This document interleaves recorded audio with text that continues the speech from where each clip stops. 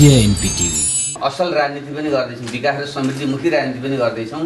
त्यसको निम्ति निजी क्षेत्रसँग पनि असल राजनीतिको निम्ति लगानी गरौँ। इन्भेस्ट फर गुड पोलिटिक्स भन्ने यस्तो अन्य अन्यत्र पनि प्रचलन छ। त्यस्तो एउटा अभियान चलाएर उहाँहरूका सुझावहरू पनि लिने र उहाँहरूलाई चाहिँ यसमा सहयोग गर्नुहोस् इन्भेस्ट गर्नुहोस् भनेर पनि आग्रह गर्ने त्यो पनि हामीले गर्छौँ। र अन्ततः फेरि हामी आत्मनिर्भर हुने नै हाम्रो कोसिस त त्यसो भएको हुनाले अब सधैँ नउठाने भन्ने त संसारमा जहाँ पनि मुख्य कुरो पारदर्शी विधिसम्मत हुनुपर्छ भन्ने छ। र जहाँसम्म तेस्रो प्रश्न गर्नु त्यसो भएर मेरो कुनै पनि टिप्पणी छैन। अब फलेको रुखमा मान्छेले फल खान झटारो हान्छ रुखले झटारो फर्काउँदैन। फल दिन्छ। त्यही यी सुझावहरू हामीले दिएका छौँ। नेपालको अर्थतन्त्रलाई अन्तर्निर्भर बनाउन के गर्नुपर्छ? लगायतका विषयहरूमा हामीले सुझावहरू दिएका थियौँ। अब त्यसमा खासै धेरै उपलब्धिहरू त भएन त कतिपय विषयहरू जो पहिले म प्रधानमन्त्री भएकै बेलामा अगाडि बढाइएका विषयहरू चाहिँ अगाडि बढेका छन् अब त्यो ठिकै छ तर त्यो मेमोरेन्डममा अन्डरस्ट्यान्डिङ मात्रै भएको हुनाले कार्यान्वयन हुन् त्यसमा हाम्रो सदिच्छा नै छ।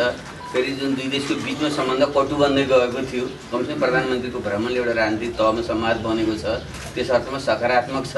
अब अन्य कुराहरू त अब सबैतिरबाट टिप्पणी आएकै छ खासै उपलब्धिमूलक भएको भन्ने त आउँदैन तै पनि सम्बन्ध वार्ता सुरुवात हुनाले हामीले यसलाई सकारात्मक ढङ्गले नै ग्रहण गर्छौँ। सम्बन्धित क्षेत्रका मुख्य विषय के छन्?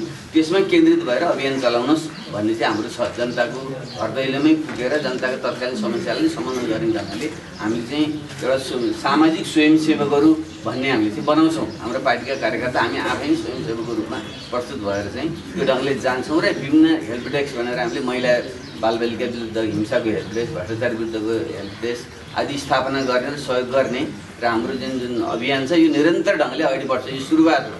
जहाँसम्म भुइँचालोबाट पीडितहरूको समस्या चाहिँ अत्यन्त दुर्भाग्यपूर्ण छ वास्तवमा। गत वर्ष र अहिले हिउँ ती कष्टसाथ जनताले काटिसके तर एउटा जुन अत्यन्त पछुवाको गतिमा सरकारको गतिविधि अगाडि बढेको त्यो अत्यन्त दुःखद छ।